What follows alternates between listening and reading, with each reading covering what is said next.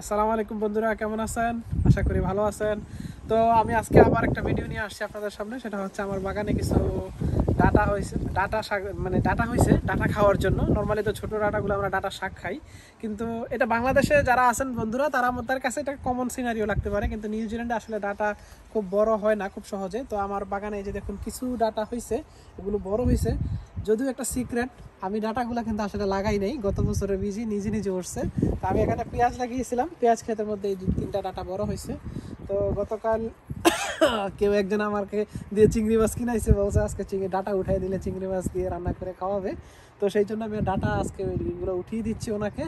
তো আপনারা আমার সাথেই থাকুন, চলুন আমরা ডাটা হারভেস্টিং করি আজকে। তো প্রথমে আমি এই ডাটাটা উঠাবো, এই যে ডাটাটা। আসলে এই ডাটাটা উঠাতে গেলে হয়তো আমার দুই একটা পেঁয়াজ গাছ নষ্ট হতে পারে, কিছু করার নাই। তারপর এটা গোড়া সহ উঠাইতে হবে। এটা গোড়া সহ উঠাইলে সাথে অনেকগুলো পেঁয়াজ গাছ দু একটা উঠে গেলেও কিছু করার থাকবে না আমার। কারণ গোড়া সহ না উঠাইলে এটা সমস্যা করতে পারে বাগানে। Oh.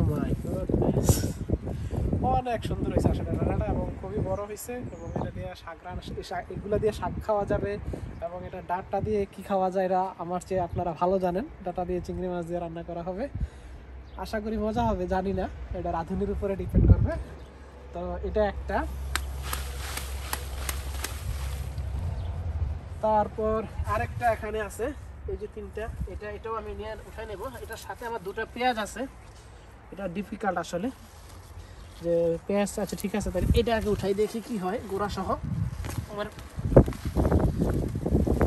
এই যে আসলে অনেক সুন্দর সাইজ হয়েছে। সাধারণত আসলে এরকম বড় সাইজ হয় না নর্মালি কিছু কিছু ক্ষেত্রে হয়, সব ক্ষেত্রে হয় না।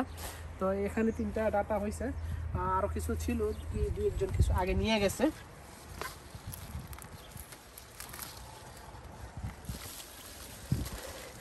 এই যে, তিনটা ডাটা হয়েছে তো, মাশাআল্লাহ। তো আমার মনে হয় এতটুকুই চলবে। এতটুকু দিয়ে আজকে চিংড়ি মাছ দিয়ে রান্না করা হবে। তো সবাই, সবার দাওয়াত রইল, সবাই আসবেন। আর আমার এই বাগানের ভিডিওগুলো যদি আপনাদের পছন্দ হয় লাইক করবেন কমেন্ট করবেন এবং চ্যানেলটা সাবস্ক্রাইব করবেন এবং আমাকে উৎসাহ দিবেন যাতে আরও বেশি করে ভালো করে বাগান করতে পারি এবং আপনাদের সাথে এগুলো শেয়ার করতে পারি। তো ভালো থাকবেন বন্ধুরা। আসসালামু